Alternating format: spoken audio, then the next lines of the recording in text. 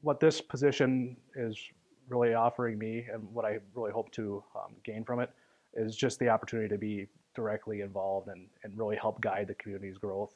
After spending the past eight years as the planning assistant in Mankato, Jon Noerenberg is now having a hand in growing Waite Park. And I thought Waite Park really gave a great opportunity to take the skills I learned in Mankato, uh, tra- transition to a smaller community that offers a lot of room for development and growth. The new planning and community development director says the transition has been easy, but still needs to get acquainted with the system. The most difficult part has been uh, learning of the new city code. Just after working with a you know a, a written document for so long, it just it kind of gets committed to memory. Uh, and now every time I have a question, I got to go back in, into the ordinance and make sure it's uh, you know, the right answer. With multiple projects already in the works, Noerenberg says he has come in at an exciting time with four different hotel proposals. I know the Silverleaf project uh, redevelopment is on the cusp of kind of wrapping up, um, so I came in a little bit late on that, but it's been interesting to have a have a hand in it as they um, kind of finalize those projects.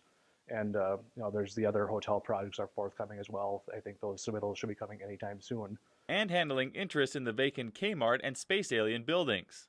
And with those sorts of, of requests, they you get a number of um, interested parties, and they may circle around a little bit, and um, some may come with a proposal, and some may not. They may move on to other sites, but uh, the the Kmart one is probably the the big one right now because you know seeing that building sit vacant for too long isn't something anyone in the community wants to see. But Noerenberg says he's excited for the opportunity and looks forward to help continue the growth in the area.